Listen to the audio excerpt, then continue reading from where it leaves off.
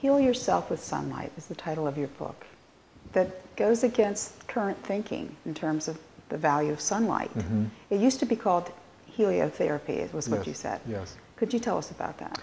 Yes, uh, heal yourself with sunlight is just a natural phenomenon that most people are not even aware of that are exposed to the sun. We're scared of the sun. We're scared of the sun now because you know, when they first introduced sunglasses, which by the way mm-hmm. started triggering a massive increase of cancers.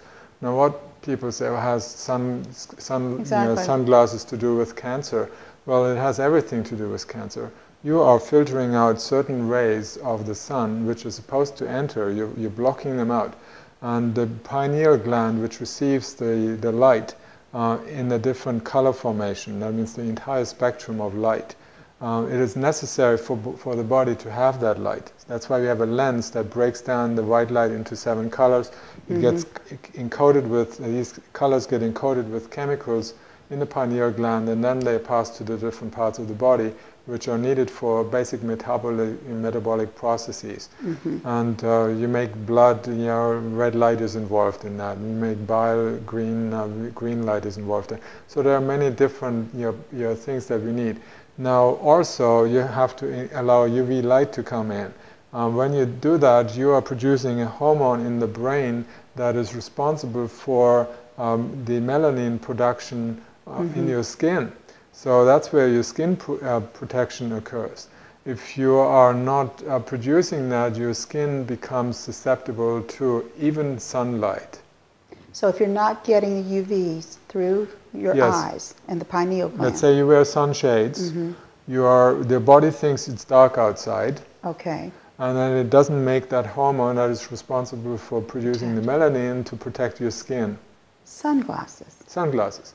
So the other thing is, you know, and the, the light is needed. Uh, there is now research to show that every cell communicates with every other cell through light.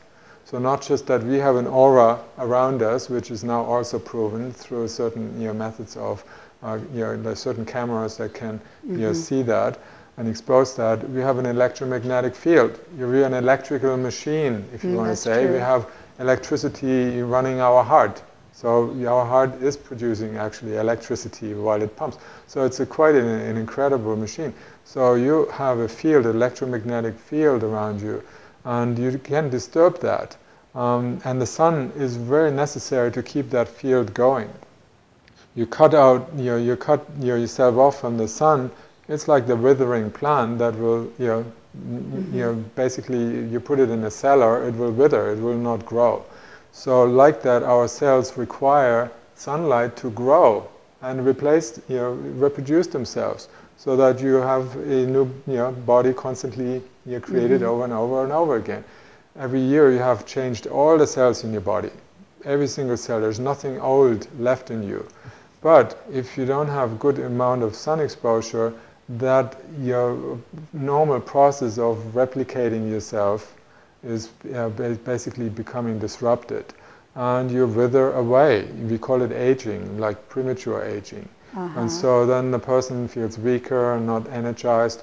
Um, there are studies after studies, which you can read up in, in my Sunlight book, Heal Yourself with Sunlight, um, that show that every i- disease, uh, including s- severe illnesses like MS, MS is the multiple sclerosis where the myelin sheath, the fatty sheath around the nerves, diminishes and that damages the nerves and then you have no you know you have diminished motor sensory uh, Okay. re- you know, responses so your body's uh, after a while you end up in a wheelchair and then you may even die from it so it's a very common thing now because we have been told stay out of the sun Right. now the people the, con- the people in Canada have the highest rate besides Scotland was only one fourth of the normal sunlight that let's say uh, here in South Carolina you, you would experience.